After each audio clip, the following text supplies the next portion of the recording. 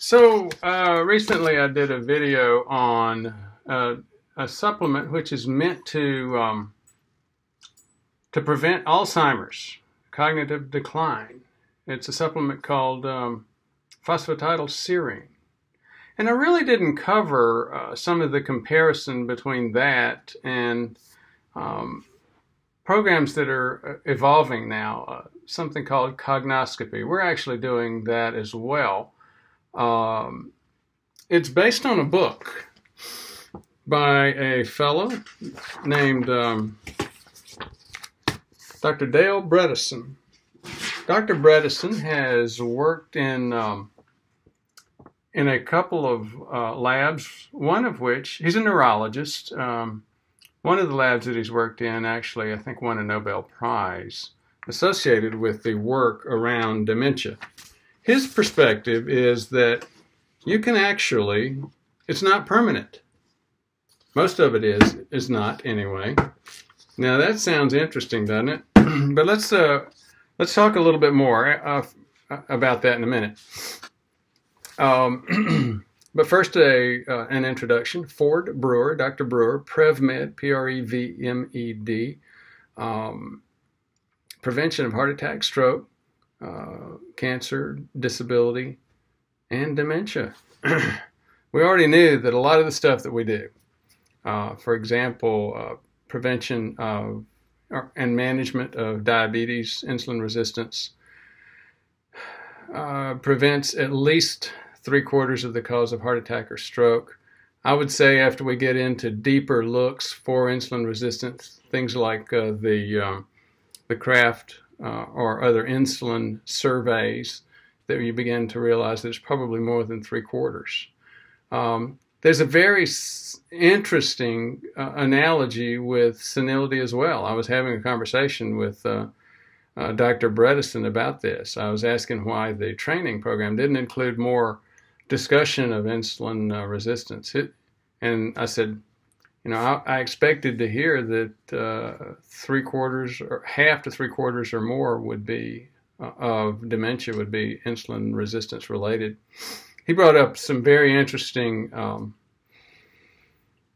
uh, current research looking at things like serine threonine ratio and indicating that it may actually be 100% of uh, dementia associated with insulin resistance.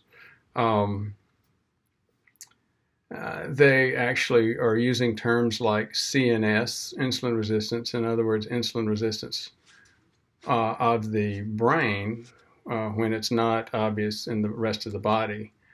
Given what I know about the failure to diagnose it in the rest of the body, the more subtle forms, I would um, I would say it's probably in the body as well. It's just that the neurologists didn't. Uh, they're seeing it in the brain, and the internists and family practitioners are just not seeing it in the body yet. So again, an interesting thing to think about. Let's go back though. This is uh, not so much a, a general video. This is a video about comparison of um, a supplement to cognoscopy. Uh, cognoscopy again is uh, the term that we're using. It's looking at looking for cognitive decline and measuring it. Um, phosphatidylserine. You remember that's the uh, it's a glycerin, um, the three carbon chain um, backbone with two fatty acids. Those fatty acids are uh, lipophilic, and it's got a serine here. So therefore, you've got a lipophilic end of this molecule and a water or hydrophilic end of this molecule. Uh, a whole bunch of biochemical geekiness, right? Well, yeah. But that's very important. In fact, it's critical to all of us because phosphatidylserine uh, lines along the inside of the neuron. The neuron cell membrane, just like the rest of our cell membranes, are basically consists of two layers of fatty acids. So it's fat soluble, and the fat soluble end of the phosphatidylserine goes here. It tends to signal things like apoptosis or cell death for the neuron. Um, and this this diagram indicates this is a healthy living neuron because you see the reds, which are the phosphatidylserines, are mostly on the inside layer, when you start seeing a great increase on the outside layer, that's when that neuron is uh, headed for cell death. And uh, the immune system starts using that as a signal pathway to start cleaning up the mess. Now, another uh, review component about phosphatidylserine. It's simple. Uh, you you can get it from diets by far twice as high as number two. The largest concentration of phosphatidylserine in the diet would be if you ate cow's brains. Um, the number two, I, the number two through ten about are different organ foods. So this is messy, ugly, uh, old stuff that doesn't that is not included on most people's diet. But that's okay because you can get it from white beans. Um, most people that are big believers in phosphatidylserine um, actually just got it, get it out of a bottle. now, so you get it through a bottle, or some people get it through their diet. Now, what's your probability of it actually working? Well, there's a plus minus story here. The FDA, uh, as we covered in that other video, actually does give the makers of phosphatidylserine a uh, an ability to say it may actually prevent loss of cognition, cognitive decline, senility. However, you need to be very, very clear in the next sentence that the FDA doesn't think there's enough um, research evidence to indicate that it clearly does. Now, um, and in fact, in going back and looking at that data, I think the FDA is correct on both sides of this issue, having some uh, hope there, but also being crystal clear that that's, I mean, most of us wouldn't want to hang our our future cognition on that. This has struck me as a much, much better solution. Uh, but there are problems, just like there is with everything. This is uh, the author of the book, uh, End of Alzheimer's, and that's a little uh, news video piece that was being done on it. He talks about the 36 causes of Alzheimer's, the what he calls the 36 holes in the roof. And what he's referring to is things as seemingly arcane as a, um, a low magnesium to zinc ratio. Or maybe it's the other way around. I think it's low magnesium to zinc ratio. Now, he goes on to make the point that once you start getting one hole, multiple holes start showing up. Um, he also makes the point that as you start uh, clearing up and patching these holes, there's a there's a momentum that happens, and sure enough, you start to get significant improvement. Um, with uh, as I mentioned earlier, one of the biggest holes, and maybe one of the biggest drivers, is insulin resistance, whether just in our central nervous system or our whole body. Um, many people, by the way, have begun to call Alzheimer's as type 3 di- uh, diabetes. Here's some more comparison between, you know, head to head comparison, a supplement for, um, for brain uh, uh, preservation, dementia prevention.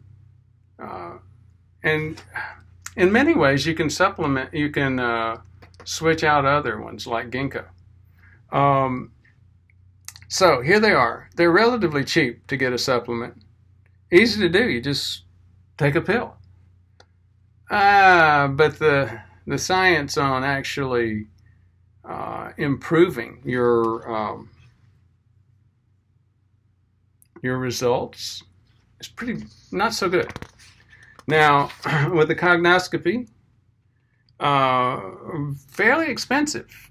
I mean, if you go to one of his providers, it's $3,500 for the provider alone. And then uh, a couple of them said there were a couple of times their, the labs had been up to $10,000. Now, it doesn't always have to be that difficult, but it is, uh, it's expensive. It's a lot more than buying a, a bottle of uh, phosphatidylserine.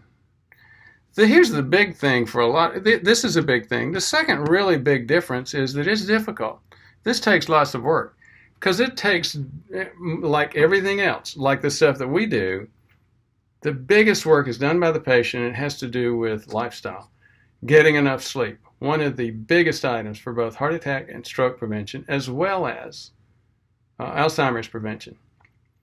Diet, also one of the most important. It may diet may be the most important component of life lifestyle, and clearly in terms of prevention of heart attack and stroke, uh, may probably as well as uh, dementia um, exercise. All of these things, they're not easy. Changing your lifestyle is not easy. So we got two major differences so far in terms of a cognoscopy or uh, Dale Bredesen version of preventing uh, heart attack, I mean um, dementia, versus the easy way, buying some, a single supplement. Here's the third difference. Uh, I'm not too comfortable that uh, buying phosphatidylserine is going to keep me from uh, getting dementia. Actually, I uh, tended to be a skeptic until I read the book. That knocked out a lot of my skepticism. I went to the training sessions, and uh, they're clear. Uh, I have much more comfort level that, believe it or not, there's actually a lot you can do to prevent dementia. Uh, there was one other component on the slide.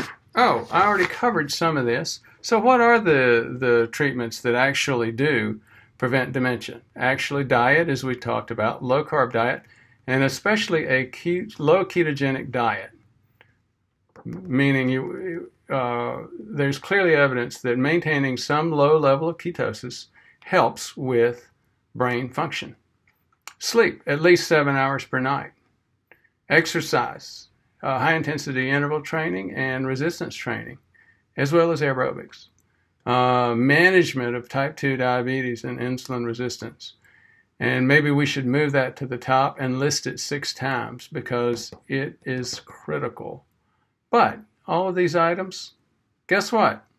Not only do they prevent Alzheimer's, they also prevent heart attack and stroke. Hopefully, we're beginning to get the, the point here. Supplements, yes, there are some supplements, uh, and we'll talk about those in other videos. Um, and ginkgo biloba is one of them. Um, talk a little bit. Uh, the jury, I think, is out a little bit more on uh, phosphatidylserine. There's another one that they uh, that you use a lot called glutathione. We'll do another video on that later. They actually do use brain training. Uh, they use luminosity, I think. And uh, you know, each of the one, one of the other concepts about this is that brain training has been used in the past. Um, a lot of these individual supplements have been used in the past, but here's the point: if you've got 36 holes in your roof and you only patch one, you're not going to see a major change. That's the point. You got to do a lot of work to keep from uh, uh, from letting your brain or your body get old. Thank you for your attention.